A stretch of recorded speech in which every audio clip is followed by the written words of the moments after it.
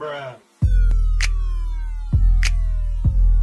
on the beat like What's up, y'all? It's your boy. I see you looking. Team Bruh leader calling in. All Team Bruh members.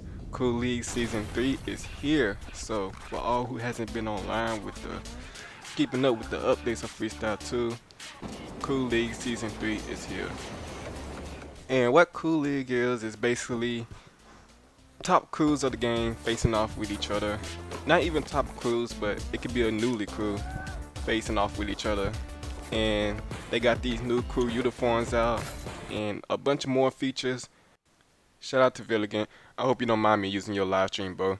For those who don't know what Crew League is, if you plan on playing in a future tournament, you have to play Crew League to play in those future tournaments.